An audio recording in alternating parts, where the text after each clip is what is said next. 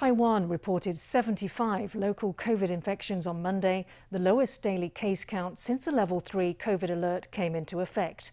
At his daily press conference, Health Minister Chen Shih-chung urged the public not to let down its guard.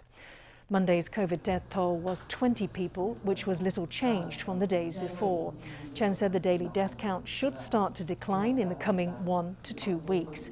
He said as more beds uh, free up at hospitals, higher risk patients with mild symptoms will be transferred in from hotels and quarantine centres for close monitoring.